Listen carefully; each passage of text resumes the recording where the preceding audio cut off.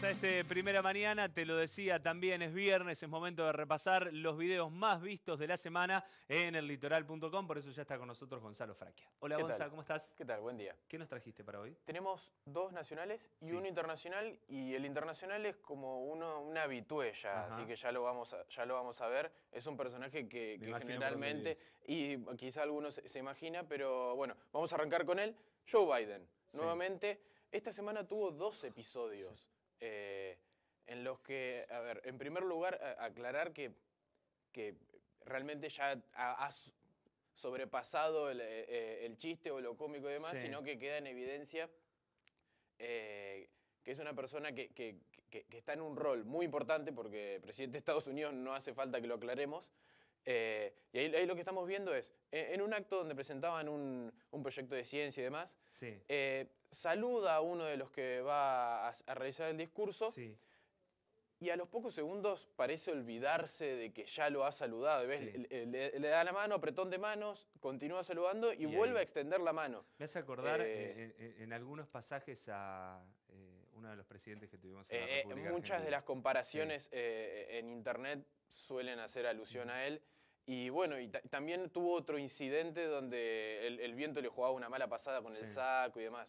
Pero bueno, es, es claramente una situación en la que no está siendo acompañado y deja a las dudas de que quizás eh, ciertas partes de ciertos sectores de- del gobierno estadounidense lo- Sí. lo- lo- a, a propósito lo, expongan. Sean Pero bueno, eso ya, eh, ya, ya es, es- es mucho más profundo.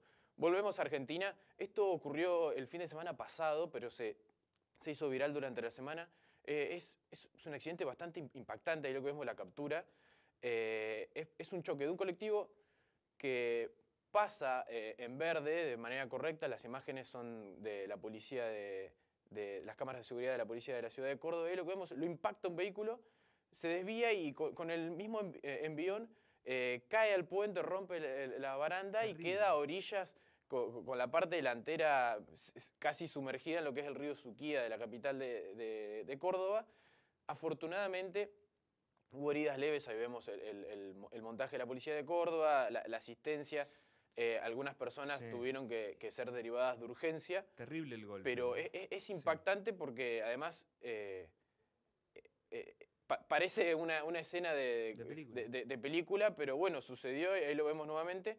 El, el vehículo, eh, el automóvil pasa en rojo, lu- luego se derivaron la- la- las investigaciones para ver qué grado de responsabilidad tenía, pero bueno, casi de milagro se puede eh, Sí. eh, evitar hablar de, una tragedia porque como veíamos, muy impactante el, eh, el choque. Era altísimo el nivel de alcohol en sangre de la persona que estaba Eh, manejando. ese, era, ese era el otro punto.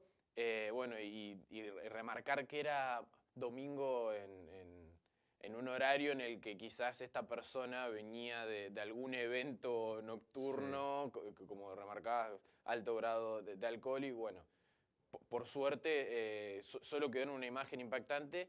Y también re- eh, otro detalle que es el, el trabajo de la Policía de Córdoba, que generalmente ha- hace este tipo de montajes y, y tiene un sistema de cámaras de seguridad muy bueno que, facilita para, para en, en este caso era muy evidente, pero hay Sí. situaciones en las que, que son más complicadas y, y trabajan muy bien. Bien. Eh, vamos al último. Dale. Esto ocurrió eh, en en los últimos días.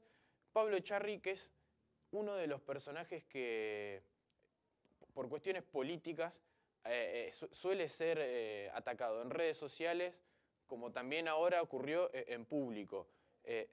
Salía de, de- de su obra ART, que, que trabaja con Fernán Mirás y Sí. demás, y bueno, ahí lo que vemos es, es, es un intercambio, porque es atacado por, po- por, una de las personas que no se sabe si estaba dentro de la obra de teatro, pero a la salida, como suelen hacerlo los artistas, interactúan con, con- los seguidores, con los fanáticos, algún, alguna foto, como vemos, eh, autógrafo y demás. Y, esta persona lo, increpa por bueno, la, eh, la situación actual del país y, y su, su, público eh, apoyo al, gobierno actual. Y bueno, eh, es, una situación que se suele dar. Luego, eh, sigue su camino, parece ser que casualmente se encuentra con Pablo Echarri y Pablo Echarri no, no se queda atrás y, y lo increpa además porque se va y demás, pero, pero es una escena que, que generalmente se ve y que no solo pasa con funcionarios o políticos, sino que también con artistas.